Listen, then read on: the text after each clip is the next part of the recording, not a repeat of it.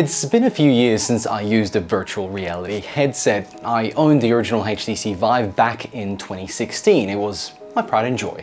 And as you may know, the HTC Vive was one of the first on the market that made VR accessible and real. Furthermore, it had amazing support from Valve and still does to this day. I even purchased the wireless upgrade in 2019 via a friend from the States, since it wasn't available in Australia at the time. I paid nearly double the price plus shipping but it helped me to take my Beat Saber skills to the next level. However, the amount of effort to set up the HTC Vive was always a drag. It had two mechanical light boxes, which I drilled into my walls to maintain the room configuration, but they also had to be wired together. The resolution was low, with pretty average screen door effects. Tracking was spot on though, I'll give it that. Field of view was tiny, but wireless was great, even with the reduced quality as the module reached grilling temperatures. With all that in mind, the HTC Vive era was incredibly fun, even with the short demo-like games that were there back in the day. But it all changed when Half-Life Alyx was released.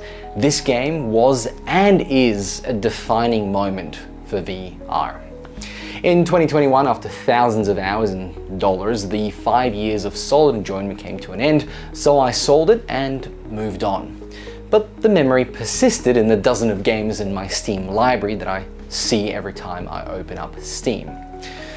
Now, all this to say that I love VR, and I was so excited when Pimax reached out to send me their VR headset for review.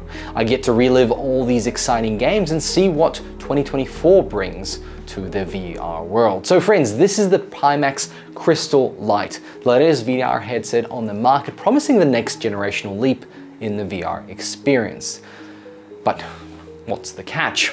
Well, let's find out. Big thanks to Pimax for sending this for review. Make sure to like and subscribe. If you would like to see more content like this, let me know in the comments below. Let's get started by rolling the intro.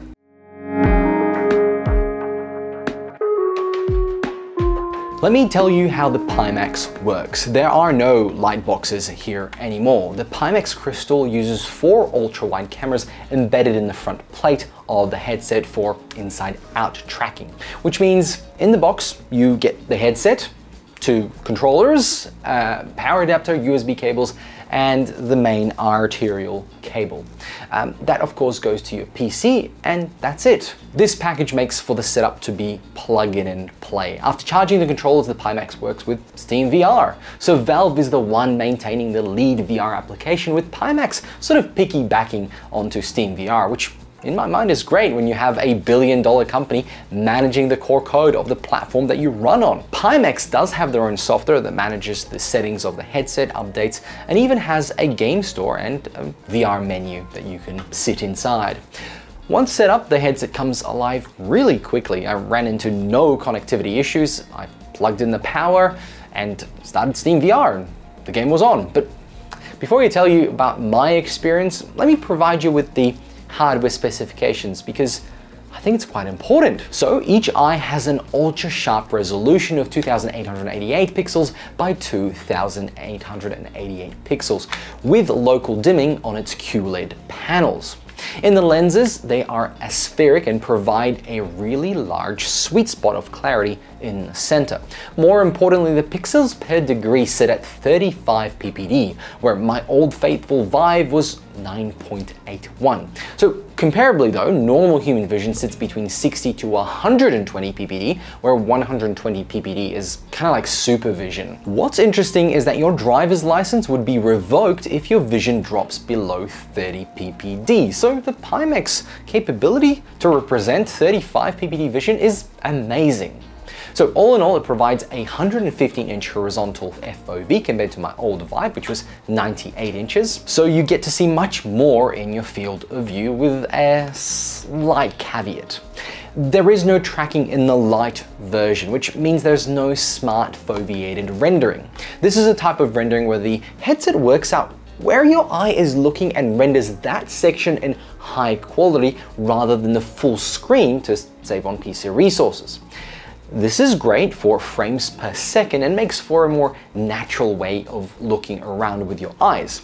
However, the crystal light fixes the foveated rendering in the center, which means it's always there wherever you're pointing your head, but not your eyes. It does take a little bit to get used to, but honestly, after a little while, it's absolutely fine. Furthermore, the adjustment for your interpupillary distances is manual, ranging from 58 to 72 millimeters. The refresh rate of each panel is variable from 60 Hz, 72, 90 Hz, and an incredible 120 Hz, which enables extremely smooth gameplay if your rig can handle it. Speaking of rigs, I'm running an RTX 4090 and an AMD 7950X CPU, and for context, the minimum requirement specifications are at RTX 2070 equivalent and a 12th generation Intel Core i5 equivalent. So bear that in mind as this headset has a pretty high entry point. The camera pass-through provides a funky matrix-like view if it was a grayscale vision of your surroundings, which is needed often enough as you navigate the play space carefully due to the arterial cable being only 5 meters. I would suggest getting a longer cable from Pimax store to manage the tugs on your head as you move around in games that require a lot of movement. Speaking of, the head strap is very, very nice and wide, providing a very good balance between the heft of the device at the back and, of course, the front. The face cushions are really comfortable, much better than any other VR headset I've tried on, as it does not leave an impression on your face. However, there is a drawback of a snug fit that may only happen for those with larger heads. So to that end, the lens tends to fog during a particularly warm gaming session. So bear that in mind that you might need to keep a little cloth near you to just give them a wipe every so often. Now it fits really well on my face and I don't get any light bleed due to its snug fit. To me, personally, this is by far the best VR headset I have ever used for comfortability, enabling some really long gaming sessions. Lastly, the controllers that I keep flinging around here. They are very functional and light, but they also feel a little bit cheap. They seem like an afterthought in the whole scheme of things compared to the headset and do not really match the level of quality you find there.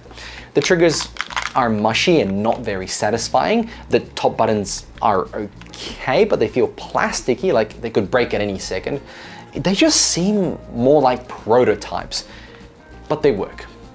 Interestingly, they have touch sensors on the X buttons and triggers, which would work well if the controller has had some sort of strap on them that held it to your palm and they don't go flinging so I can be light with my touch. With all that out of the way, let me talk about my experience using the Pimax for the last couple of weeks.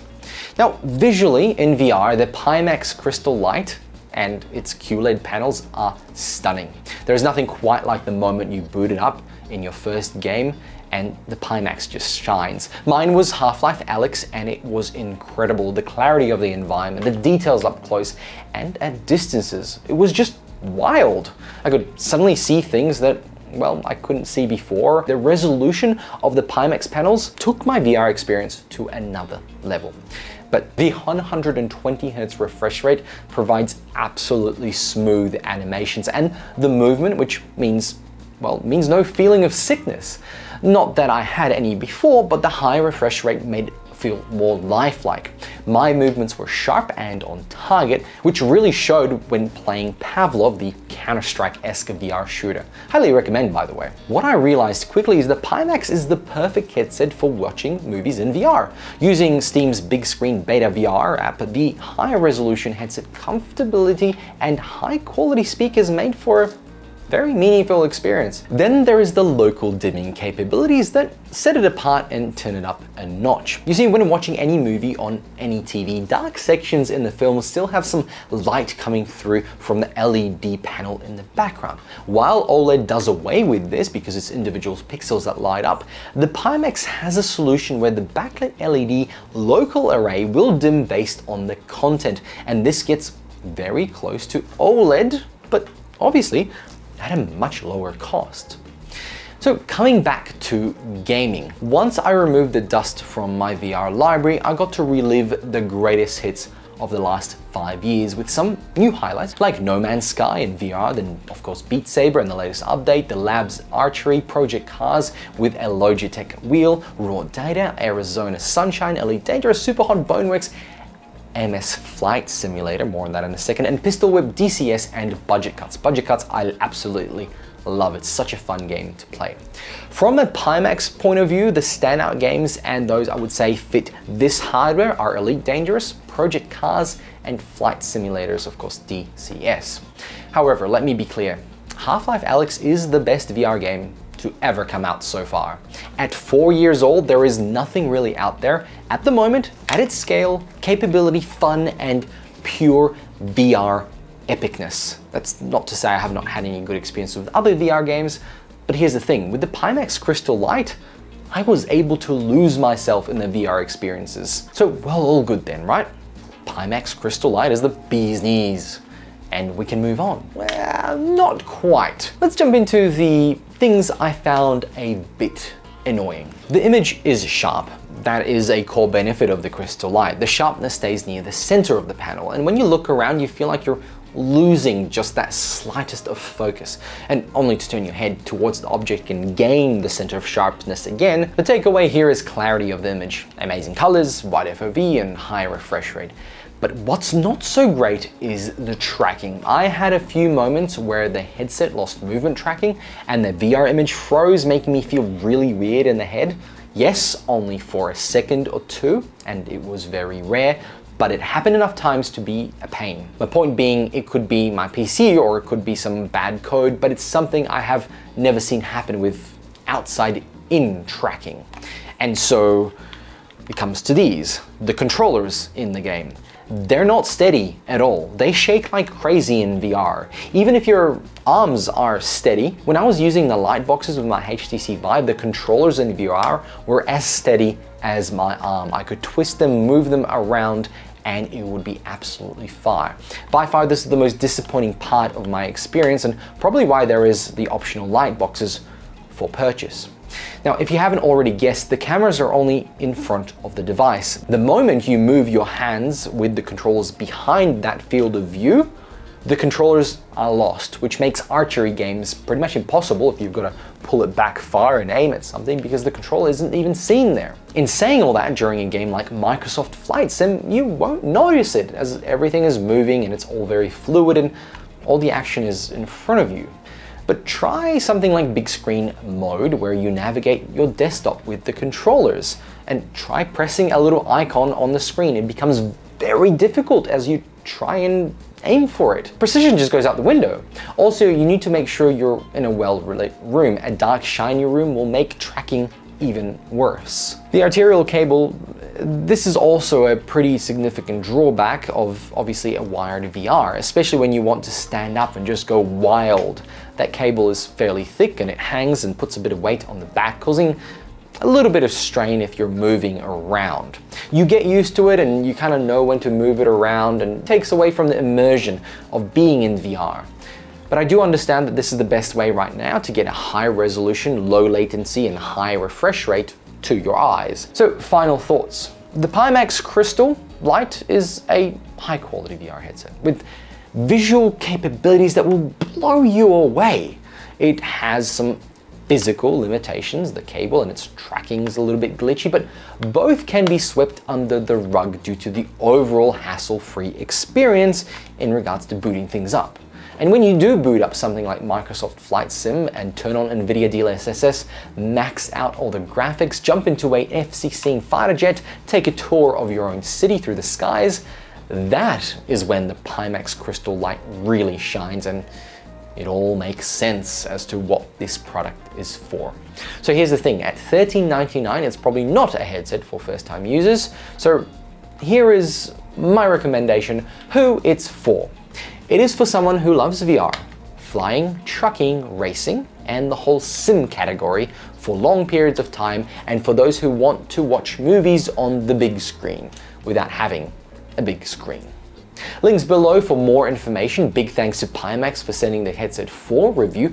Absolutely amazing technology, and I think it will sell very well in the sim arcade area. So make sure to tap the like button if you like this video. It is rather long, so yeah, let me know your thoughts and subscribe if you want to support us and see more content like this. Thanks for watching. Catch you in another one. Bye.